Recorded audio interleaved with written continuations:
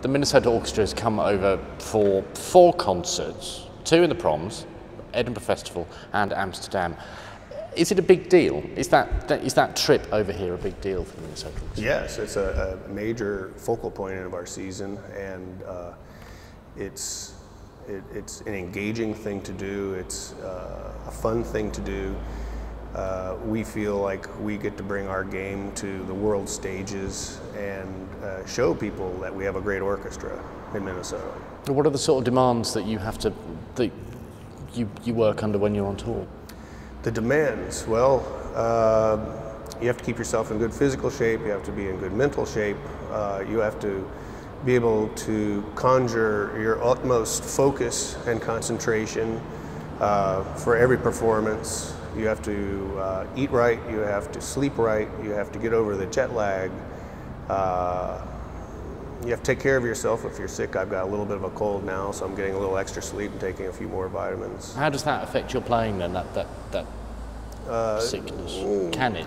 Well, it, it can, but I think when you get caught up in the moment of performance, you forget about all that because you're focusing on what you're doing, and that goes away.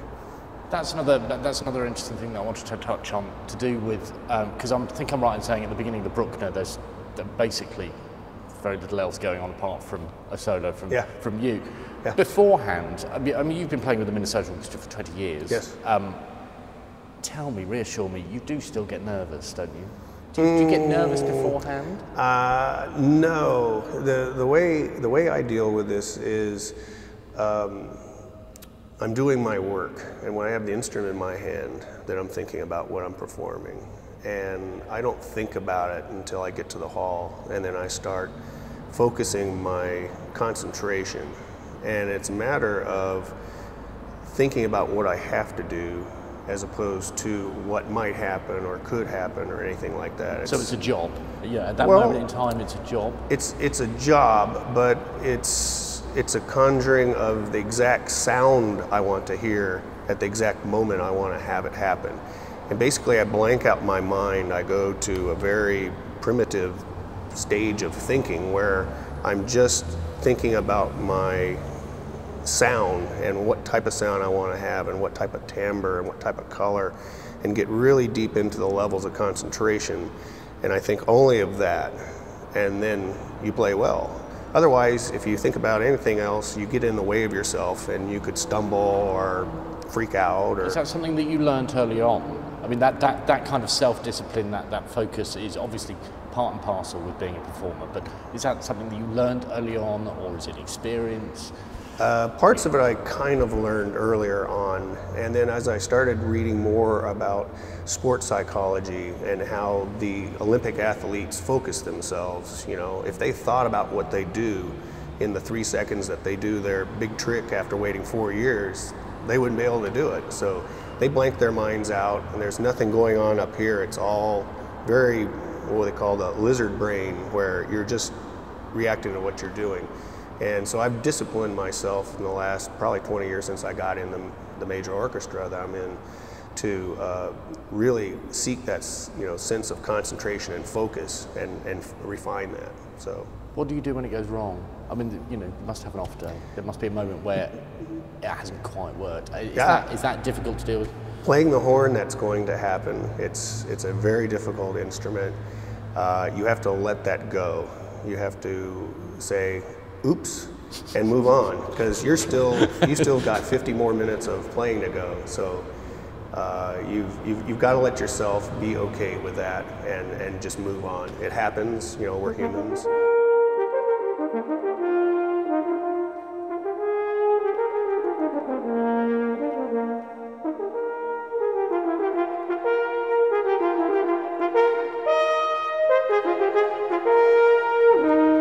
20 years with the Minnesota Orchestra in various roles. Um, that strikes me as a long time Yes. to be sat essentially with the same people, seeing the same faces in rehearsals and concerts and what have you. That, to me, that would drive me mad. um, how do you, how is that for you? Do you, do you ever get bored? Do you, how do you maintain interest? For, for me, it's, it's a privilege to play principal horn, uh, it's never boring because uh, so many composers write great solos and repertoire for the horn. And playing principal horn, it always keeps you on your toes.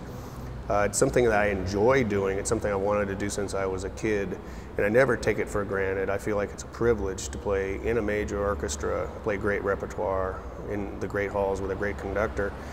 And I actually, I actually have the attitude that it's something I get to do as opposed to something I have to do. If you have to do it, it becomes a job, but it's something I enjoy and I get to do it. It's, it's interesting. I, I, I took on the mentality a couple years ago. I started thinking about this 20 year coming up, and I said, I need to enjoy every concert I do from now on because you never know if your teeth are going to fall out or you're going to lose your lip or your nerve or whatever. So I need to really enjoy every concert I do and as if it was one of my last. So that's that's that's the tact I take. So it never becomes boring. I'm always always looking forward to playing another concert because you never know when time's going to run out. Is that a risk then that your lip will go? Uh, I mean, not yours personally, sure. but as a horn player. It happens. It happens. Brass players are usually the first to leave the orchestra uh, with either problems with their chops or their brains. Um, their brains. yeah, their brains. really? Yeah. Oh, okay. Yeah, we, we have a little more physical wear and tear than some of the other instruments. You don't see too many old brass players in orchestras. Um, you do see them, but there's not a whole lot. So uh, they say that brass players peak at age 36 and I'm now 52. So I'm sure that's a mistake. But, the, maybe you, but 50 is the new 30, right. and and um, I actually have gotten better as a player in the last seven or eight years that I've been principal horn. Um, just from a routine of teaching students how I do it and discovering what I can do to be better. Why the so, horn in particular? Why did you choose it? Can you yeah, what did you choose the horn? The horn, um, in high school, I had my own part, which was part of it, and I got to sit in an orchestra with uh, strings one time, and I said, wow, this is cool. You know, strings, two oboes, two horns, playing a Haydn symphony. I said, this is something I really, really, really like. I would like to do this. And uh, stuck with it. I had a very good teacher in Florida, and uh, he got me into a great conservatory in Philadelphia. At 17? Is that right? Uh, Were you 17 when you went to university? Mm, 17 when I went to the university, and I was 20 when I went to, yeah, I got out of high school early. And, uh, wow. You know. I mean, yeah, wow. Well, it, and then a job at 21, if fine. Yeah, yeah, yeah. And so was that like a playing a playing job in an orchestra? Yes, yeah. That's when I very young. So it's good. It's good. Yeah, yeah. And I knew I was on my way, and you know, I, I had talent, and if I worked hard, then eventually I might move up to a bigger orchestra. And I took auditions for years, and uh, it was eight years of auditions before I got into the Minnesota Orchestra. So I, I paid my dues. It's a struggle. I mean, certainly from musician friends that I know, mm-hmm. um, I've seen them graduate and uh, do what might be loosely described as the circuit, lots of freelance stuff, right. lots of unpaid work, and then they get a full time job. Right. And it strikes me that you have to have an enormous amount of commitment yes. and drive. Yep. Does it need a particular kind of person? You have, you have to have the hunger, we call it, and something you can't teach a student. It's a hunger that you've got to have that job. And, and, like, and can you see that when because you, you, teach as well? Can yes, you see that? Yes, and the ones the ones that have it, you know, they may not be the best players, but they're going to work the hardest, and they eventually they won't give up. They keep knocking on the door until they get what they want, and and that's what I did. You know, it was I, I my 26th audition was the one I won in Minnesota. I'd made finals for 22 of the 26, and I was right there being considered for the job, and I didn't get it.